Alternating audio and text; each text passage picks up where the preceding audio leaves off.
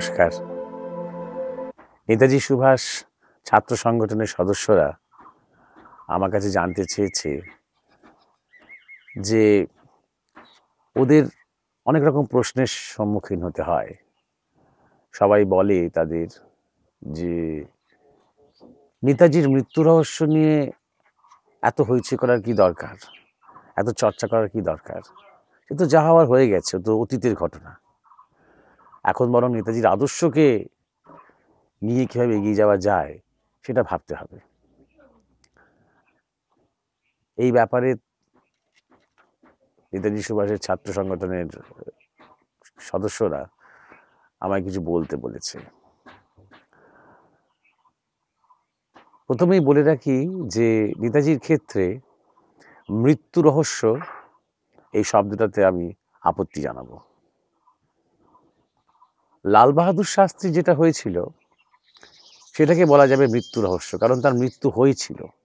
সবাই দেখেছে বডি দেখেছে। সেই শরীরে সৎকার করা হয়েছে। কিন্তু কীভাবে তার মৃত্যু হয়েছিল? সেটা কি সত্যি হার্ট অ্যাটাক হয়েছিল, নাকি তাকে কোনোভাবে বিষপান করানো হয়েছিল? সেই ব্যাপারে কিন্তু একটা সন্দেহ আছে, সংশয় আছে। তাই নিয়ে সেরকম কোনো তদন্ত ভারতবর্ষে কখনো হয়নি। সেটাকে বলা যায় মৃত্যু রহস্য। কিন্তু নেতাজির কি হয়েছিল?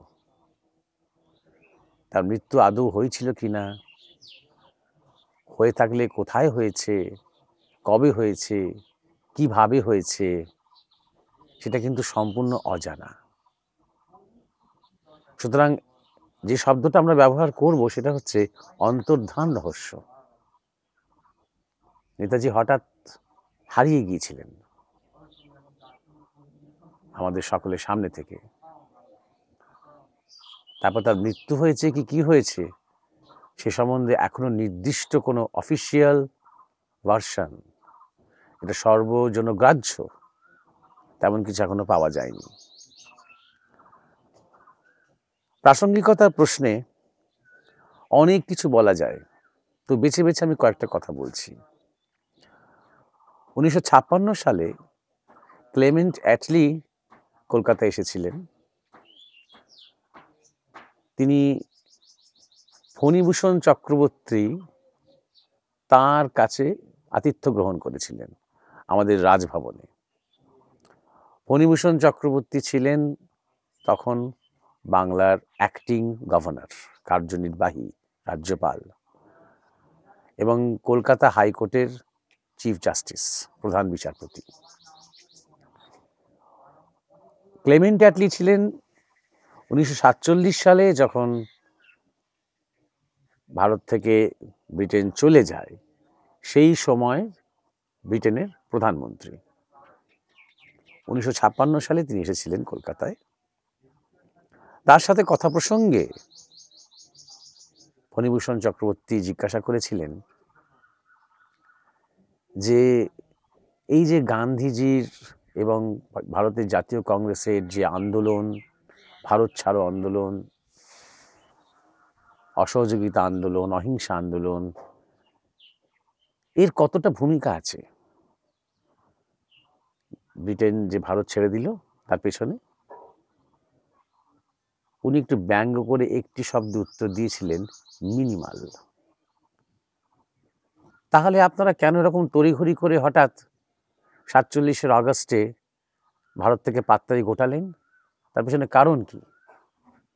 তখনও তিনি খুব ক্রিপ্টিক একটি শব্দের উত্তর দিয়েছিলেন বোস। উনিশশো সাতচল্লিশ সালের অগাস্টে ইংরেজ ভারত ছাড়ছে, যেখানে পঁয়তাল্লিশ সালে নাকি তার মৃত্যু হয়ে গেছে সেই বোসের। সেই সাতচল্লিশ সালে অগাস্টে ইংরেজ ভারত ছাড়ছে সেই সময়কার প্রধানমন্ত্রী পরে স্বীকার করছেন তার কারণ বোস।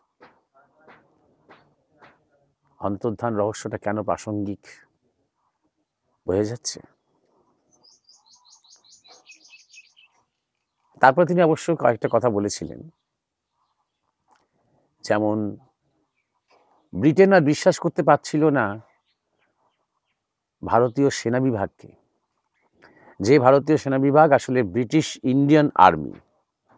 ব্রিটিশদের দ্বারা পরিচালিত, মূলত ব্রিটিশদের দ্বারা পরিচালিত ভারতের আর্মি, পৃথিবীর বিভিন্ন জায়গায় তারা যুদ্ধ করেছে। আজাদিন ফৌজের বিরুদ্ধেও তারা যুদ্ধ করেছে। করেছে, কিন্তু তাদের আর ব্রিটেন সরকার বিশ্বাস করতে পারছিল না। বিশেষ করে যখন বম্বেতে নৌবাহিনীর বিদ্রোহ শুরু হলো একদম আইএনের স্লোগান বলতে বলতে ইউনিয়ন জ্যাকেট পতাকা ফেলে দিয়ে ব্রিটিশ অফিসারদেরই জয় হিন্দ বলতে বাধ্য করছে সেই নাবিকেরা, সেই সেলাররা। এটা ছড়িয়ে পড়তে আরম্ভ করল চারদিকে। আজাদিন ফৌজ যখন অগ্রসর হচ্ছিল ভারতের দিকে, তখন ভারতীয় আর্মির অর্থাৎ ব্রিটিশ ইন্ডিয়ান ফোর্সেসেরই বহু জওয়ান ব্যারাটোপকে কিন্তু আজাদিন ফৌজে চলে যাচ্ছিল।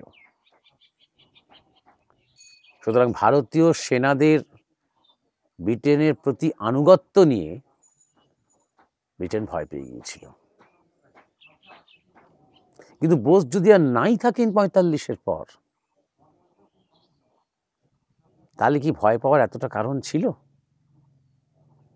এবং সেই নৌবাহিনী দমনে ব্রিটেন বা ব্রিটিশ সরকারকে সবচেয়ে বেশি সাহায্য করেছিলেন ভারতীয় জাতীয় কংগ্রেসের নেতারা, তাদের মধ্যে মুখ্য ভূমিকা নিয়েছিলেন সর্দার বল্লভভাই প্যাটেল লৌহ পুরুষ বিশাল স্ট্যাচু।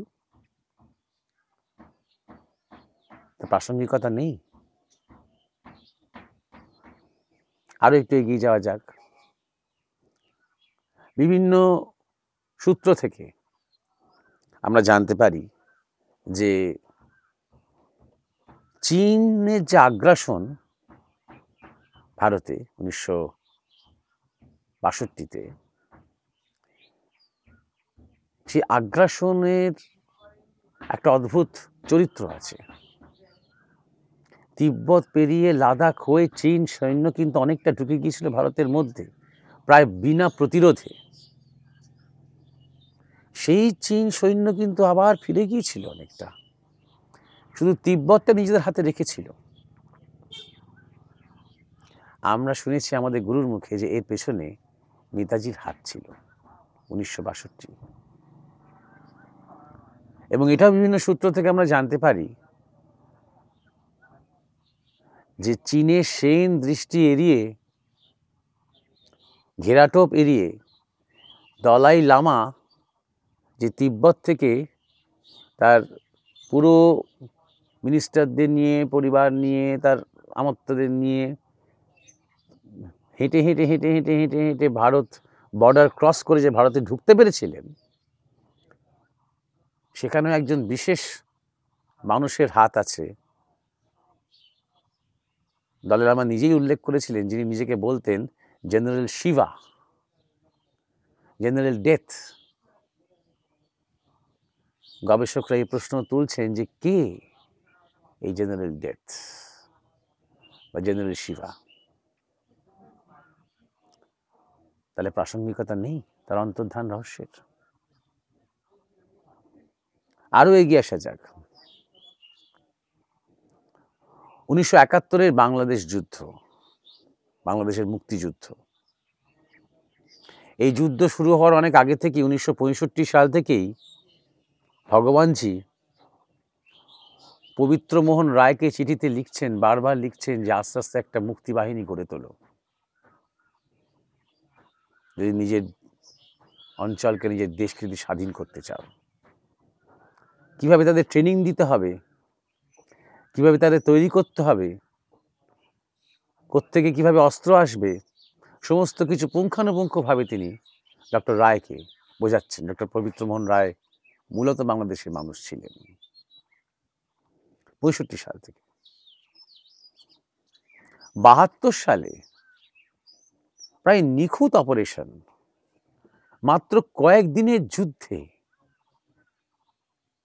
পাকিস্তান স্যারেন্ডার করতে বাধ্য হলো। রীতিমতন ভারতের সাথে বসে তারা সই করে দিল যে তারা স্যারেন্ডার করছে। বাংলাদেশকে স্বাধীন করে দেওয়া হলো। এই রকম ধরনের নিখুঁত স্ট্র্যাটেজি এবং এইরকমভাবে তার একটা সলিউশন বেরিয়ে আসা, কোনো একটা যুদ্ধের, আধুনিককালে কিন্তু খুব একটা বেশি হয়নি। যুদ্ধ শুরু হলে চলে তো চলেই। ভিয়েতনাম যুদ্ধ দেখুন, আফগানিস্তানের যুদ্ধ দেখুন, ইরাকে দেখুন। যুদ্ধ শুরু হলেও এটা আমরা জানতে পারি, কিন্তু যুদ্ধের শেষ বলে কিছু হয় না। এরকম একটা নিখুঁত যুদ্ধের স্ট্র্যাটেজি ভারতের আর্মি অবশ্যই যুক্ত ছিল, কিন্তু সেই আর্মিকে পরিচালন করছিল কারা বা কে? এই প্রশ্নটা এই জন্যই প্রাসঙ্গিক যে শেখ মুজিবুর রহমান, বাংলাদেশের রাষ্ট্রপ্রধান প্রথম, তিনি স্বাধীন হবার পরেই ঘোষণা করলেন যে এই যে বাংলাদেশ আর স্বাধীন হলো, এতে প্রমাণ হয় নেতাজি সুভাষচন্দ্র বসু এখনও বেঁচে আছেন। অন রেকর্ড এই কথাগুলো তিনি বলেছিলেন। যদিও এই পরবর্তীকালে আর কোনোদিন বলেননি। তারপরে অনেকবার কলকাতায় এসেছেন, গেছেন। একসময় তিনি খুব নেতাজির অন্তরঙ্গ ছিলেন, অনু, অনুগামী ছিলেন। অন্তরঙ্গ নয়, অনুগামী ছিলেন। আর তিনি নেতাজির কথা তিনি বলেননি। এবং এই যুদ্ধের পরে পরে, এক বছরের মধ্যে ভারতের ইন্দিরা গান্ধী সরকার বাংলাদেশ যুদ্ধ সংক্রান্ত সমস্ত ফাইলস এবং ডকুমেন্টস নষ্ট করে দেয়, পুড়িয়ে দেয়। কেন? অপ্রাসঙ্গিক বলে? কিসের ভয়? এরকম বহু ঘটনা আছে। এই উদাহরণগুলো আমি বাড়াবো না। আমার বক্তব্য একটাই যে নেতাজি সুভাষচন্দ্র বসু শুধুমাত্র একটা ব্যক্তিগত ঘটনা নয়। তার অন্তর্ধান রহস্যর পেছনে একটা রূপকথার মতন একটা গল্প লুকিয়ে আছে, সেটা বড় কথা নয়। এর সাথে ভারতীয় জাতীয় কংগ্রেসের ইতিহাস লুকিয়ে আছে। এর সাথে লুকিয়ে আছে সেই সময়কার পলিটিক্স। এর সাথে লুকিয়ে আছে ব্রিটেন, ইউরোপ, আমেরিকা, এদিকে পুরো এশিয়ার অনেক ঘটনা, পরম্পরা। এবং সবচেয়ে বড় কথা, এর সাথে লুকিয়ে আছে আরেকটা তাৎপর্যপূর্ণ ঘটনা। যে গল্পটা আমাদের শোনানো হয়,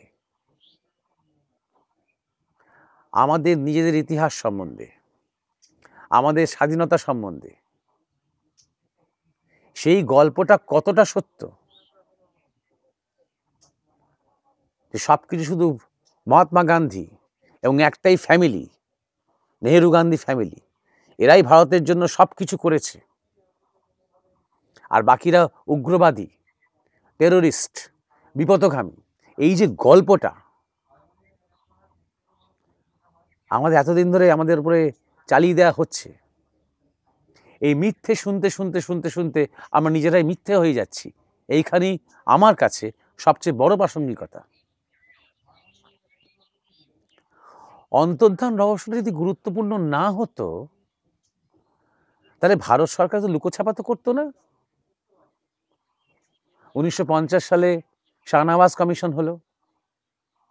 সেই শাহনাওয়াজ কমিশনকে প্রথমেই ব্রিফ দিয়ে দেওয়া হলো যে নেতাজি বিমান দুর্ঘটনাতেই মারা গেছেন। এটাই প্রমাণ করা তোমার কাজ। নেতাজি কীভাবে মারা গেছেন? নেতাজি আদৌ মারা গেছেন কি না, এটা বোঝা তোমার কাজ নয়। এটা ব্রিফ চাপে পড়ে। একটা কমিশন তৈরি করতে হলো চাপে পড়ে। যদি প্রাসঙ্গিক না হতো, তাহলে লুকোনোর তো দরকার ছিল না। ওই কমিশনের রিপোর্ট গৃহীত হলো। নেতাজি যারা অনুরাগী গবেষক, তারা কেউ মানলেন না। এই নিয়ে তর্ক, বিতর্ক, আলোচনা চলল চলল চলল। তাহলে সরকার আবার যখন ইন্দিরা গান্ধীর সময় দ্বিতীয় কমিশন করলেন, খোসলা কমিশন করলেন, গঠন করলেন, স্বীকার করে নিলেন তার মানে যে শাহনওয়াজ কমিশনের কাজে কিছু ত্রুটি ছিল, তার সিদ্ধান্তে কিছু গণ্ডগোল ছিল। খোসলা কমিশনের মোটামুটি একই গল্প। তদন্তের ভঙ্গিটা শুধু আলাদা, নাটকটা একটু বেশি। সেখানেও অনেক কিছু লেখালেখি করে খোসলা খুব লিখতে ভালোবাসতেন। তিনি সিদ্ধান্তে এলেন হ্যাঁ বিমান দুর্ঘটনাতেই মারা গেছেন নেতাজি। তার সাথে আরও কিছু বিশেষণ তিনি যোগ করলেন, মাথা গরম লোক, জাপানের দালাল হয়ে উঠেছিল, ইত্যাদি ইত্যাদি অনেক কিছু তিনি বললেন। সেটাও গ্রহণযোগ্য হলো না। বহু মানুষের কাছে সেটা নিয়েও বিতর্ক মিটলো না। সরকার প্রমাণ করতে পারল না, কোনোভাবেই কনভিন্স করতে পারল না কাউকে যে হ্যাঁ এই রিপোর্টটা এই এই কারণে বিশ্বাসযোগ্য। কারণ কিছু লুকোনোর আছে? অন্তর্ধানকে কেন্দ্র করে যা কিছু কংগ্রেস করেছে, যেভাবে আজাদিন বা সরকারের যে অর্থ ছিল ট্রেজার বহু মানুষের দান করা, গয়না, গাটি, টাকা, পয়সা, সমস্ত কিছু নয় ছয় করা হয়েছিল। অনেক কিছু গোপন করার দরকার আছে। প্রমাণ করা দরকার আছে যে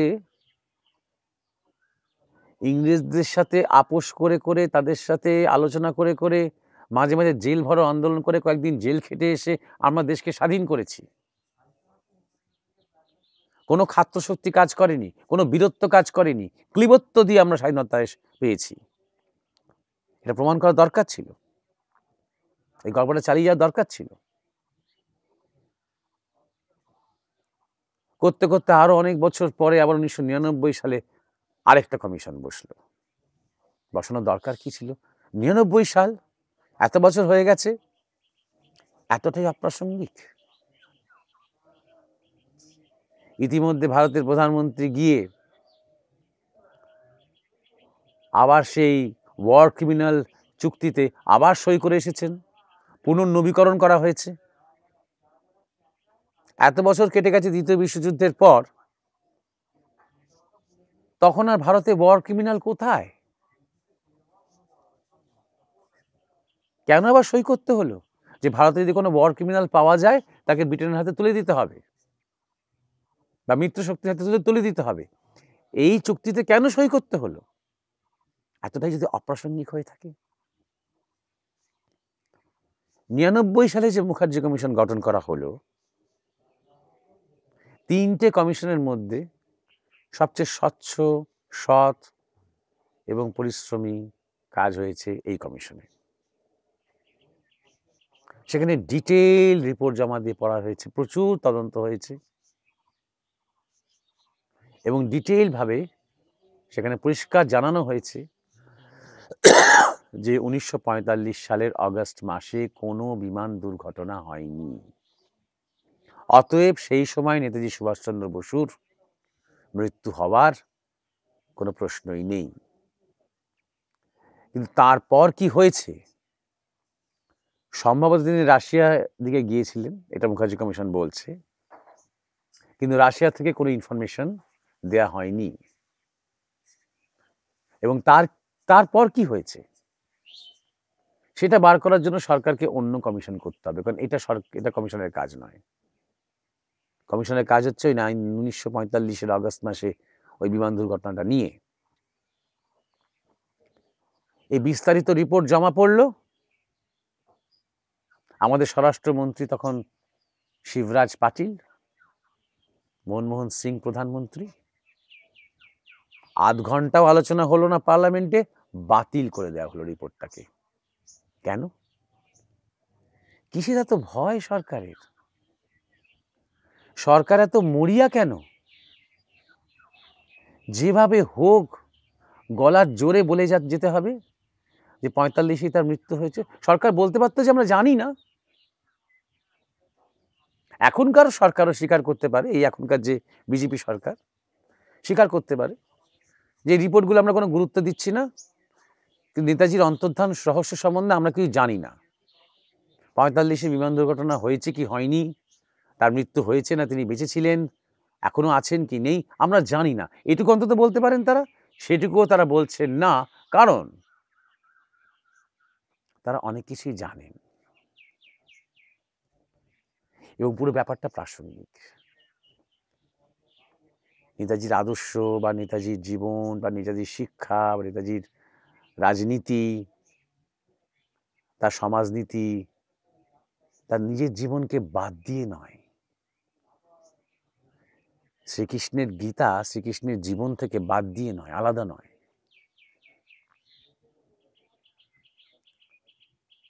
নেতাজির অন্তর্ধান বুঝলে বা যদি আমরা বোঝার চেষ্টা করি বা সত্যটা যদি আস্তে আস্তে একদিন আমরা জানতে আরম্ভ করি,